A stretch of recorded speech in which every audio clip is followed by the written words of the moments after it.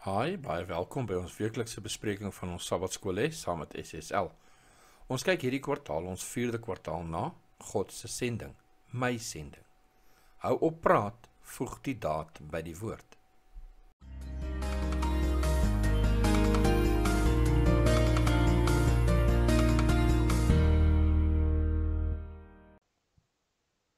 Ons gee teksvers vir hierdie week vind ons in Genesis 3 vers 9. In die Nuwe Afrikaanse Bybel lees dit soos volg: Maar die Here God het na die mens geroep en vir hom gevra: "Waar is jy?" Genesis 3 vers 9. Ek lees weer. Maar die Here God het na die mens geroep en vir hom gevra: "Waar is jy?" Genesis 3 vers 9. Kom ons open met gebed. Hemelse Vader, baie baie dankie vir die voorreg om hierdie week met 'n nuwe kwartaal se les te kan begin. U het ons in ons vorige lesse so geseën. En ons wil U dank dat U ons steeds gaan seën in die lesse wat voorlê. Dankie vir die Heilige Gees wat ons nou gaan lei in Jesus se naam. Amen. Haai, baie welkom by ons nuwe kwartaal se lesse en ons eerste week se les. Mag u vandag 'n seën ontvang terwyl ons deur vandag se les gaan.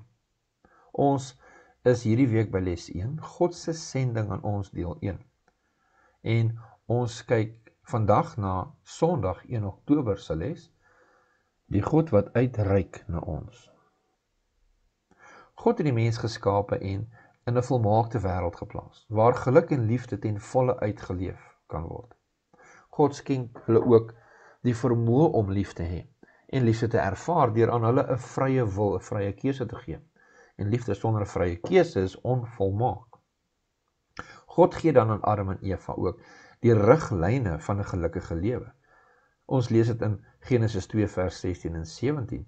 En die Here God het aan die mens bevel gegee en gesê: "Van al die bome van die tuin mag jy vry eet, maar van die boom van die kennis van goed en kwaad, daarvan mag jy nie eet nie, want die dag as jy daarvan eet, sal jy sekerlik sterwe." Dan kom die slang in die prentjie, die duiwel en Satan en mislei die vrou. Genesis 3 vers 4 en 5. Toe sê die slang vir die vrou: "Julle sal gewis nie sterwe nie, maar God weet dat as julle daarvan eet, julle oë sal oopgaan sodat julle soos God sal wees deur goed en kwaad te ken." Eva besluit om na die slang te luister. Adam besluit om na die na na Eva te luister. En hulle kies om teen God se voorskrif te gaan. So beland die mens dan en die hele aarde onder die vloek van sonde en staar die ewige dood in die gesig. Maar God wat groot is in barmhartigheid, het reeds 'n verlossingsplan, 'n sendingsplan om die mens te red.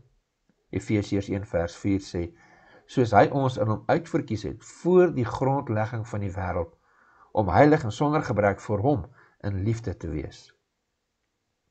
Reeds voor die skepping van die mens, of selfs die wêreld, het God reeds die sending vir die verlossing van die mens beplan. Voor God die mens aanspreek, roep hy hom egter eers. Genesis 3 vers 9. Toe roep die Here God na die mens en sê vir hom: "Waar is jy?" Nou dit is nie asof God nie weet waar die mens was nie. Inteendeel. God het geweet presies waar die mens homself bevind, waar die mens onbewus was van die omvang van hulle situasie.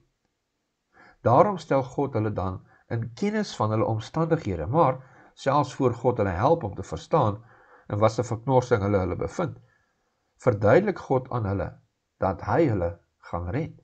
Genesis 3 vers 15. En ek sal vyandskap stel tussen jou en die vrou, tussen jou saad en haar saad. Hy sal jou die kop vermorsel en jy sal hom in die hakskeen byt. Net so roep God ook vandag na jou en na my en sy plan van verlossing is reeds in plek om ons te red. Die vraag aan die einde van die dag. Dwars deur die geskiedenis vra God aanhoudend: Waar is jy? Hoe beleef jy die vraag? Wat beteken dit vir jou persoonlik en hoe antwoord jy die Here? Deel die mening met ons in die kommentaar gedeelte hieronder. Kom ons bid. Ons Vader, u liefde en sorg is oneindig. U genade en lankmoedigheid ondeurgrondelik. Dankie vir u soeke na ons. Ek gee my weer oor aan U, my Here en my verlosser. In Jesus se naam. Amen. Baie dankie dat julle saam geskakel het vir vandag se les. Tot volgende keer. God se ryke seën.